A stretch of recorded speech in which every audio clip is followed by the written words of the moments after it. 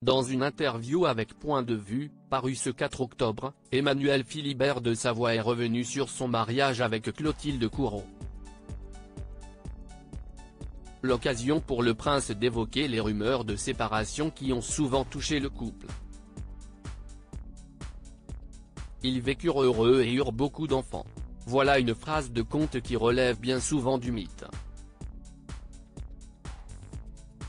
Car dans la vie réelle, les princes et les princesses, au même titre que le commun des mortels, échappent rarement au mariage sans orage.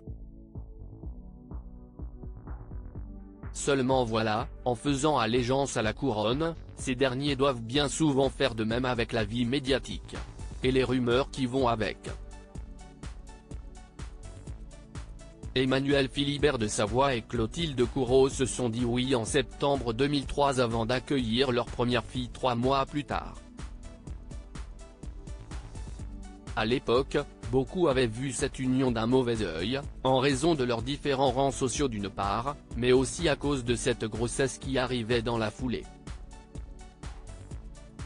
Et alors que plusieurs détracteurs avaient choisi, d'emblée, de ne pas croire à leur couple, Emmanuel Philibert de Savoie et Clotilde Courreau ont aujourd'hui de quoi faire taire les plus sceptiques, puisqu'ils ont célébré cette année leurs 20 ans de mariage.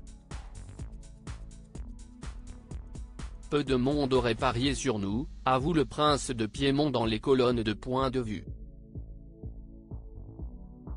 Puis d'ajouter, les gens se demandent sans cesse sont-ils séparés?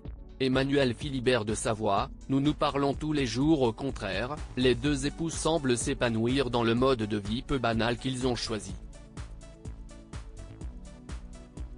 En effet, Clotilde Courreau et Emmanuel Philibert de Savoie, bien que mariés et amoureux, ne vivent pas ensemble, à cause de leurs différentes activités.